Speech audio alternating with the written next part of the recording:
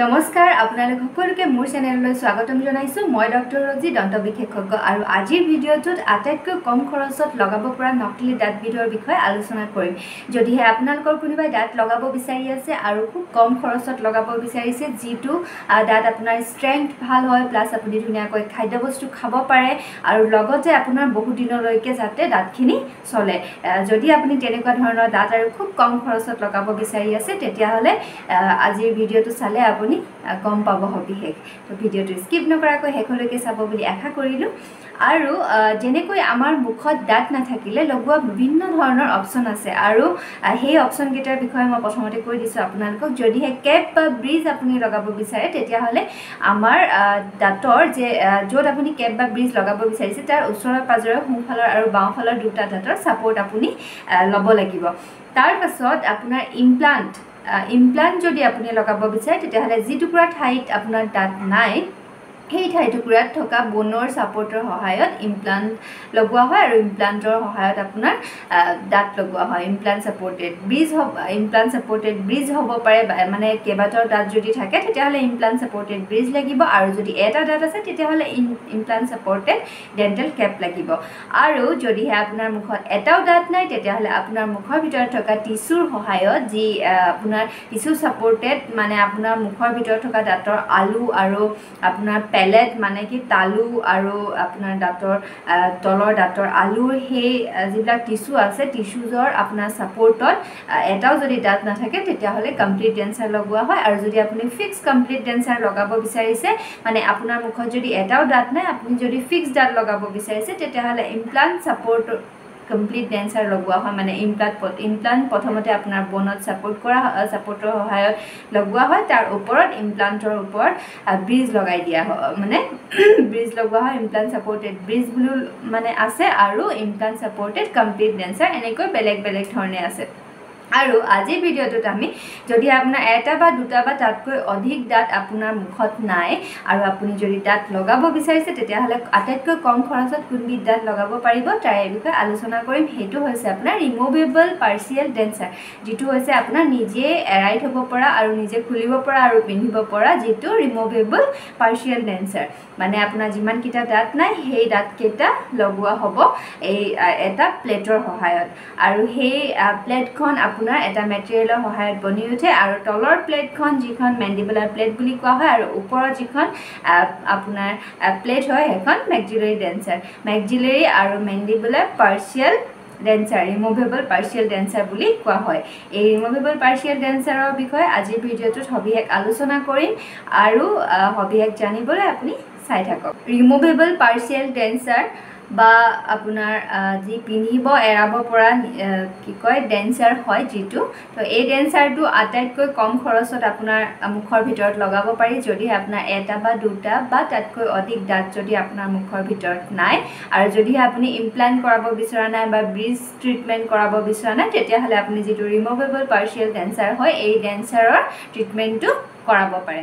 তো এই ৰিমুভেবল পাৰ্চিয়েল ডেঞ্চাৰটো দেখিবলৈ আপোনাৰ এখন প্লেট প্লেট থাকে আৰু প্লেটত আপোনাৰ দাঁতবিলাক লগোৱা থাকে। এনেকৈ ফটোত দেখুওৱাৰ দৰে হয় যি এইখন ওপৰৰখন সেইখনক ওপৰৰখন যিখন ওপৰৰ আপোনাৰ ডেঞ্চাৰটো হয় সেইটো আপোনাৰ ওপৰত তালুৰ ছাপৰ্টত বনোৱা হয়। আৰু যিটো তলৰ হয় তলৰ ডেঞ্চাৰটো হয় সেইটো আপোনাৰ তলৰ দাঁতৰ যি আলু হয় আৰু যি বন হয় যিটুকুৰা ঠাইত আপোনাৰ দাঁত নাই সেই তাৰ ছাপৰ্টত বনোৱা হয়। তো এই ৰিমুভেবল যিটো পাৰ্চিয়েল ডেঞ্চাৰ হয় এই ডেঞ্চাৰটো তৈয়াৰ কৰিবৰ কাৰণে আটাইতকৈ প্ৰথমতে আমি যেতিয়া পেচেণ্টজন আহিব তেতিয়া তেখেতৰ ইমপ্ৰেশ্যন ল'ব লাগিব। ইমপ্ৰেশ্যন মানে জোখ মাখ ল'ব লাগিব দাঁতখিনি বনাবৰ কাৰণে প্লেটখনৰ প্লেটখন বনাবৰ কাৰণে জোখ মাখ ল'ব লাগিব। আৰু জোখ মাখ লোৱাৰ পাছত আমি এটা কাষ্ট প'ৰ কৰিব লাগিব আৰু এইটো লেবত পঠোৱাৰ পাছত লেবৰ পৰা যি প্লেট হয় আপোনাৰ যি প্লেটখন ৰিমুভেবল যি পাৰ্চিয়েল ডেঞ্চাৰ হয় সেইটো তৈয়াৰ কৰি হৈ আহিব য'ত আপোনাৰ প্লেটখন দেখিবলৈ এনেকুৱা হয় অৰেঞ্জ পিংক কালাৰৰ হয়। আচলতে বেলেগ বেলেগ মেটেৰিয়েল আছে আৰু মেটেৰিয়েলৰ কালাৰটো অলপ অলপ ডিফাৰেঞ্চ থাকে। বেলেগ বেলেগ কোম্পানীৰ মেটেৰিয়েল আছে বেলেগ আপোনাৰ কি কয় বেলেগ বেলেগ ষ্ট্ৰেংথৰ মেটেৰিয়েল আছে তো সেইবিলাক সেইবিলাক অনুসৰি অলপ কালাৰটো বেলেগ বেলেগ হয়। আৰু তাতে যিখন প্লেট হয় প্লেটতে আপোনাৰ দাঁতখিনি লগা থাকে। আৰু ধুনীয়াকৈ যেতিয়া লেবৰ পৰা তৈয়াৰ হৈ আহিব তেতিয়া আমি পেচেণ্টৰ মুখত দাঁতখিনি লগাই দিওঁ আৰু তেখেতৰ ধুনীয়াকৈ কথা ক'ব দিয়া হয় তাৰপাছত কেনেকুৱা লাগে হাঁহিলে কেনেকুৱা লাগে বা যদি আপুনি চুবাই বা মুখখন বন্ধ কৰে দাঁতখিনি মিলাই তেতিয়াহ'লে কম বেছি লাগিছে নেকি ক'ৰবাত হানা খোচা হৈছে নেকি? এই সকলোবিলাক বস্তু চোৱাৰ পিছত যেতিয়া পেচেণ্টেও কমফৰ্টেবল অনুভৱ কৰে আৰু পেচেণ্টেও কয় যে একো প্ৰব্লেম নাই তেতিয়াহ'লে তেখেতক কোৱা হয় যে আপুনি দুই তিনিদিন পিন্ধি চাওক। তাৰপিছত যদি কিবা প্ৰব্লেম হয় তেতিয়াহ'লে আহিব। কি হয় প্ৰথমতে যেতিয়া পিন্ধে যি ৰিমুভেবল পাৰ্চিয়েল ডেঞ্চাৰটো তেতিয়া অলপ আনকমফৰ্টেবল লাগিব পাৰে। কিয়নো এটা বেলেগ বস্তু আনি মুখৰ ভিতৰত সোমাই দিয়া হৈছে। যি টুকুৰা ঠাইত বহুত দিনৰ পৰা খালী আছিলে দাঁত নাছিলে সেই ঠাই টুকুৰাত দাঁতটো লগোৱা হৈছে কিন্তু প্লেটৰ লগত লগোৱা হৈছে। তো সেইকাৰণে যিটো তলৰ ডেঞ্চাৰ হয় সেইটো বাৰে বাৰে জিভাখন গৈ তাতে বাৰে বাৰে লগাৰ বাবে অলপ আনকম কমফৰ্টেবল আনকমফৰ্টেবল ফিল হ'ব পাৰে কিন্তু সময় বাগৰি যোৱাৰ লগে লগে আপোনাৰ কোনো প্ৰব্লেম নহ'ব আৰু সেইটো খাপ খাই পৰিব ধুনীয়াকৈ। আৰু যিটো ওপৰৰ ডেঞ্চাৰ হয় সেইটো যিহেতু প্লেটখন পূৰা তালুত লাগি থাকে ছাপৰ্টৰ কাৰণে তালুত বনাবলগীয়া হয় তো সেইকাৰণে কি হয় প্ৰথমতে যেতিয়া তালুত এটা ভাৰী বস্তু লাগি যায় মুখৰ ভিতৰত তেতিয়াহ'লে অলপ আনকমফৰ্টেবল ফিল হ'ব পাৰে বা কথা কোৱাত প্ৰথমতে অসুবিধা হ'ব পাৰে। আৰু কি কয় মানে আনকমফৰ্টেবল লাগিব পাৰে আৰু কি বস্তু এটা আহি মুখৰ ভিতৰত সোমাই গ'ল তেনেকুৱা ধৰণৰ ফিল হ'ব পাৰে। সেই গতিকে সেইটো নৰ্মেল হয় সেইটো আচলতে হয়ে যিকোনো এটা বস্তু মুখৰ ভিতৰত আহি যেতিয়া ফিট কৰা হয় তেতিয়াহ'লে অলপ ফিল হ'ব পাৰে। বাট এইটো ব্ৰিজ বা ইমপ্লাণ্টৰ ক্ষেত্ৰত এইটো কিন্তু আপোনাৰ ফিল নহয়। কিন্তু কাৰণ তাতে অকল দাঁত লগোৱা হয়। কিন্তু ইয়াতে আপোনাৰ দাঁত যিহেতু দাঁতকেইটা ছাপৰ্টৰ কাৰণে প্লেটখনৰ প্ৰয়োজন তো প্লেটখন লগোৱা হয় আৰু অলপ আনকমফৰ্টেবল ফিল হয় অলপ দিনৰ কাৰণে দহ মানে সপ্তাহৰ পৰা দহ দিনৰ ভিতৰলৈকে। তাৰপিছত আপোনাৰ এইটো মানে মিলি যায় বা এইটো কমফৰ্টেবল ফিল হ'বলৈ আৰম্ভ কৰে। আৰু তাৰপিছত কোনো ধৰণৰ প্ৰব্লেম নহয়। ধুনীয়াকৈ আপুনি খাদ্যবস্তু খাব পাৰিব ধুনীয়াকৈ সেইখন পিন্ধি থাকিব পাৰিব। কিন্তু যিখন আপুনি প্লেট পিন্ধিছে সেই প্লেটখন ক্লিন কৰি ৰাখিব লাগিব। ডেইলি আপুনি যদি ৰাতি এবাৰ শোৱাৰ আগতে কি কয় ওলাই পিনে মুখৰ ভিতৰৰ পৰা এৰাই পিনে ধুনীয়াকৈ ক্লিন কৰিলে তাৰপিছত পিন্ধি পিনে শুই যাব পাৰে। নাইবা আপুনি ওলাই পিনে পানীত ধুনীয়াকৈ পানীত থৈ দিব পাৰে। বাতি এটাত পানী লৈ তাতে থৈ দিব পাৰে। আৰু যি ৰিমুভেবল যি পাৰ্চিয়েল ডেঞ্চাৰ হয় সেইটো আপুনি পিন্ধি পিনে শুই যাব পাৰে। একো প্ৰব্লেম নাই এনি টাইম পিন্ধি থাকিব পাৰে। কিন্তু মাজে সময়ে আপুনি উলিয়াই পিনে ডেইলি চাফা কৰিলেতো ভালেই। যিহেতু আমি যিকোনো এটা বস্তু যিমানে কেয়াৰ কৰিম সিমান দিনলৈকে বস্তুটো ঠিক চলি থাকিব। আৰু যদি আমাৰ অসমৰ মানুহবিলাকে খুব তামোল পাণ চাদা খুব খায়। আৰু কি কয় সেইকাৰণে মানে কেয়াৰ কৰাটো খুব বেছি প্ৰয়োজন আৰু ডেইলি ক্লিন কৰাটো খুব বেছি প্ৰয়োজন। তো সেইকাৰণে আপুনি ৰাতি শোৱাৰ আগতে এবাৰ ধুনীয়াকৈ ক্লিন কৰি থৈ দিব যাতে মানে তাৰপিছত ক্লিন কৰি ধুনীয়াকৈ পিন্ধি ল'ব নাইবা ক্লিন কৰি আপুনি এৰাই থ'লেও ৰাতিপুৱা আপুনি পিন্ধি ভাল পাব। তো ইমানখিনি কেয়াৰ আপুনি কৰিব লাগিব। এইটো কি কয় ৰিমুভেবল কাম পাৰ্চিয়েল ডেঞ্চাৰৰ আটাইতকৈ মানে এডভান্টেজ হৈছে মানে খুব উপকাৰী এইটো কাৰণে হয় কাৰণ এইটো খুব কম খৰচতে আপোনাৰ তৈয়াৰ হৈ উঠে আৰু যি যিকোনো লোকে এফৰ্ড কৰিব পাৰে আৰু মানে ধুনীয়া দেখিবলৈ ধুনীয়া হয় ষ্ট্ৰেংথটো ভালে আৰু বহুত দিনলৈকে যায় আৰু ধুনীয়াকৈ খাদ্যবস্তু খাব পাৰে তো ধুনীয়াকৈ আপুনি ৰিমুভেবল যিটো পাৰ্চিয়েল ডেঞ্চাৰ হয় এই ট্ৰিটমেণ্টটো কৰাব পাৰে।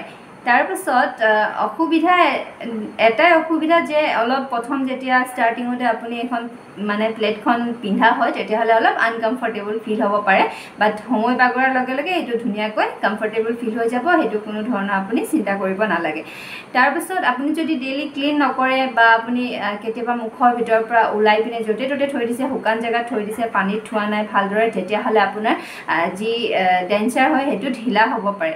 মানে লুজ হৈ যাব পাৰে। আপুনি পিন্ধিলে মানে যিমান ধুনীয়া ফিটিং আছিলে আগতে সেই ফিটিংটো নাইকিয়া হৈ যাব পাৰে। কিন্তু একে একেদিনাই বাৰু নহয় বাট যদি আপুনি ডেইলি য'ত ত'ত থৈ দিয়ে মানে ওলাই পিনে য'ত ত'ত থৈ দিয়ে ধুনীয়াকৈ পানীত নথয় ক্লিন নকৰে তেতিয়াহ'লে কিন্তু আপোনাৰ যি ডেঞ্চাৰটো হয় সেইটো লুজ হৈ যাব। আৰু যদি লেতেৰা কৰি ৰাখে তেতিয়াহ'লে আপোনাৰ ডেঞ্চাৰটো সোনকালে বেয়া হৈ যাব। আৰু যদিহে আপুনি কি কয় ডেঞ্চাৰটো য'তে ত'তে থয় বা পৰে তেতিয়াহ'লে কিন্তু ডেঞ্চাৰটো ভাঙি যোৱাৰো চান্স থাকে। সেইকাৰণে ধুনীয়াকৈ আপুনি কেয়াৰ কৰি থ'ব লাগে। আৰু এনেকৈয়ে আপোনাৰ যি আটাইতকৈ কম দামত আটাইতকৈ সস্তাত যিটো নকলি দাঁত হয় এনেকৈ লগোৱা হয় এনেকৈ জোখ মাখ লৈ ধুনীয়াকৈ প্লেটখনত বনি আহে আৰু মুখৰ ভিতৰত লগাই দিয়া হয় আৰু পিন্ধিব লাগে। তো এইটো যিটো ৰিমুভেবল পাৰ্চিয়েল ডেঞ্চাৰ এই দাঁতবিধ এনেকৈয়ে তৈয়াৰ কৰা হয় আৰু পেচেণ্টক পিন্ধিবলৈ দিয়া হয়। আৰু আপোনাৰ বেনিফিট বেনিফিটহে হয় মানে কোনো ধৰণৰ অসুবিধা নহয় বা কোনো ধৰণৰ প্ৰব্লেম নহয় এই দাঁতবিধ লগোৱাৰ বাবে। আপোনাৰ বেনিফিট হয়। কিয় কিয়কি আপুনি মানে ভালদৰে খাদ্যবস্তু খাব পাৰে আৰু আপোনাৰ অৰেল হেল্থৰ লগতে আপোনাৰ যি অভাৰঅল হেল্থ হয় হেল্থটো আপুনি ধুনীয়াকৈ খাই বৈ থাকিব পৰাৰ কাৰণে যি হেল্থ হয় সেইটো আপোনাৰ সুস্বাস্থ্য হৈ থাকে। তো এয়াই যদিহে আপুনি দাঁত লগাব বিচাৰে তেতিয়াহ'লে এই দাঁতবিধ লগাব পাৰে। আৰু যদি আপোনালোকৰ ভিডিঅ'টো ভাল লাগিলে তেতিয়াহ'লে শেষত কিন্তু লাইক আৰু শ্বেয়াৰ কৰিবলৈ নাপাহৰিব। আৰু আপোনাৰ আপুনি যদি প্ৰথমবাৰ মোৰ চেনেলটো চাইছে আৰু যদি এনেকুৱা ভিডিঅ' নটিফিকেশ্যন আপুনি আটাইতকৈ আগতীয়াকৈ আপোনাৰ ওচৰলৈ অহাটো বিচাৰে তেতিয়াহ'লে কাষতে গৈ বেলাইকনটো ক্লিক কৰি দিব আৰু অল কৰি দিব যাতে মই দিয়া ভিডিঅ' নটিফিকেশ্যনবিলাক আপুনি আটাইতকৈ আগতীয়াকৈ পায়। আৰু যদি আপোনাৰ কিবা ডেণ্টেল ৰিলেটেড কিবা যদি প্ৰব্লেম আছে কিবা কথা যদি আপুনি জানিব বিচাৰে বা সুধিব বিচাৰে তেতিয়াহ'লে কমেণ্ট ছেকশ্যনত গৈ কমেণ্ট কৰিব পাৰে। মই যিমান পাৰোঁ আপোনাক সহায় কৰিবলৈ চেষ্টা কৰিম। আজিলৈ ইমানেই আৰু আকৌ আহিম এটা নতুন ভিডিঅ'ত এটা নতুন টপিকৰ সৈতে এটা নতুন বিষয় লৈ আপোনালোকৰ আগলৈ যাতে আপোনালোকৰ সহায় হয়। আৰু আজিলৈ আহিছোঁ। আকৌ আহিম এটা নতুন ভিডিঅ'ত। তেতিয়ালৈকে আপোনালোক সুস্থ থাকক সবল থাকক আৰু ভিডিঅ'টো চোৱাৰ বাবে ধন্যবাদ।